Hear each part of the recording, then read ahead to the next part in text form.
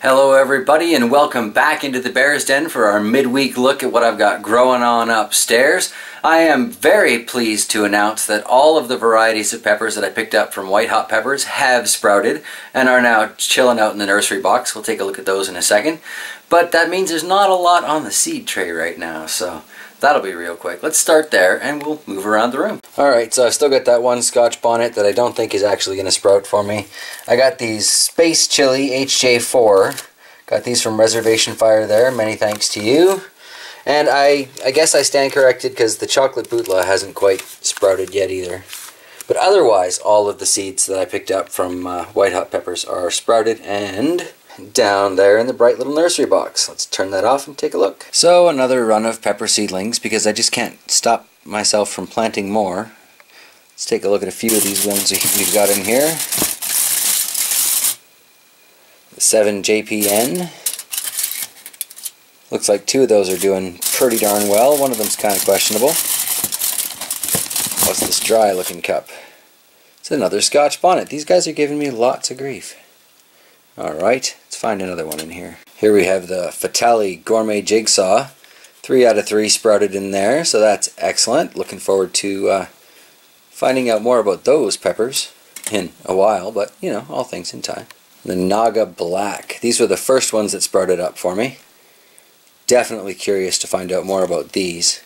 Long way to go. Let's look at some more advanced things in the room though. Seedlings are just seedlings after all. So moving around to the workstation then, you can see I didn't put that new light here. It's over on the shelf.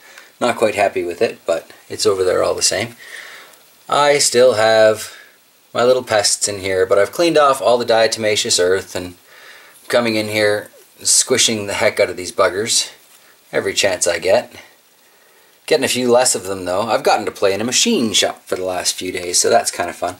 Anyway, here we have my avocado. Unfortunately, Got this brown spot on the leaf here, but I don't think I was watering this anywhere near enough.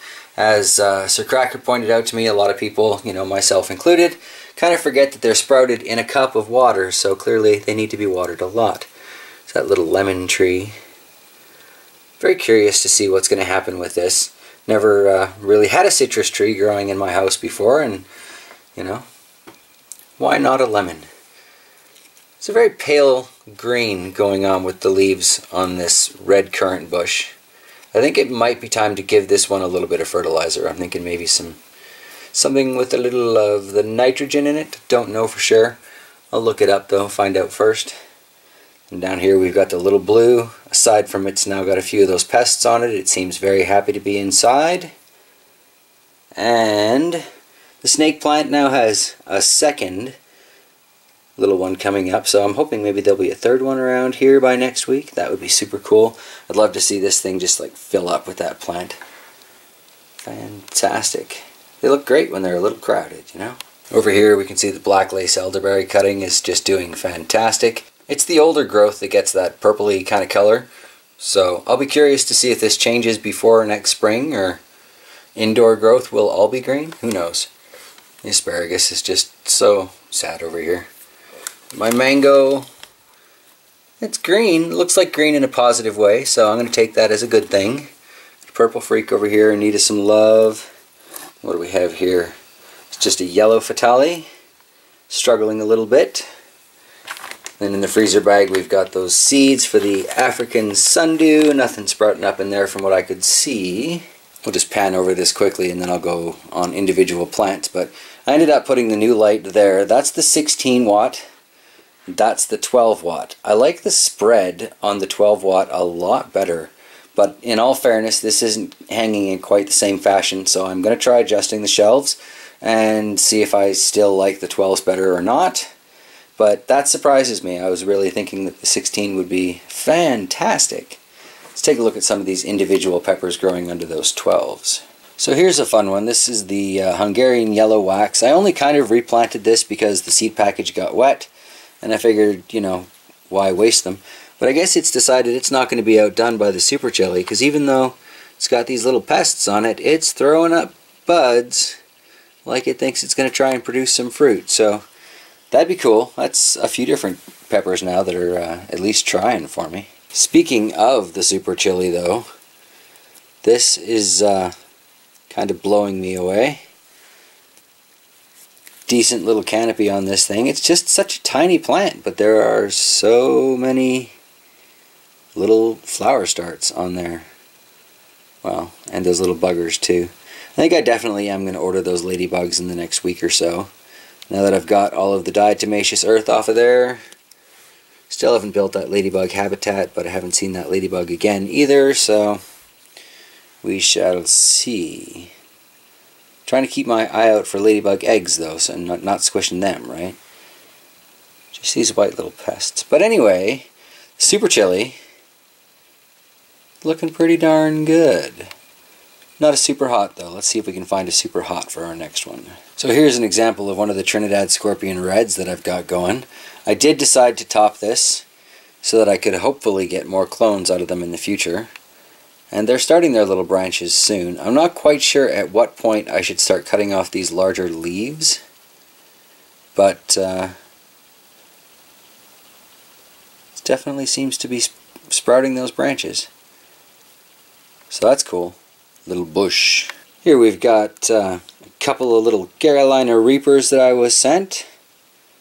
Seem to be struggling, but on their way. Not doing too bad. Gonna need to transplant these guys into their own cups soon. Then I guess for our last pepper on this particular visit, we'll take a look at this one here. This thing has suffered greatly along the way, but still seems to be fighting right along.